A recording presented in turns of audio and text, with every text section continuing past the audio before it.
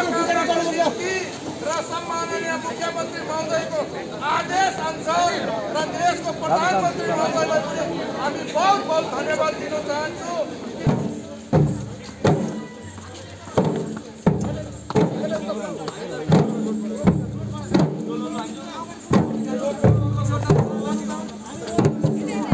Uh, Honorable Chief Minister is already uh, very close to uh, recently elected President Srimati Draupadi Murmu and we are expect we are expected that through Draupadi Murmuji, our demands for tribal status status for the left out communities will be fulfilled soon.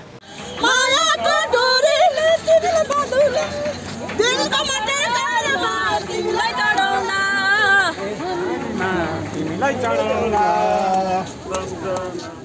don't forget to like, share, and subscribe to East Mojo. For any queries, put them down in the comments section below and press on the bell icon for notifications.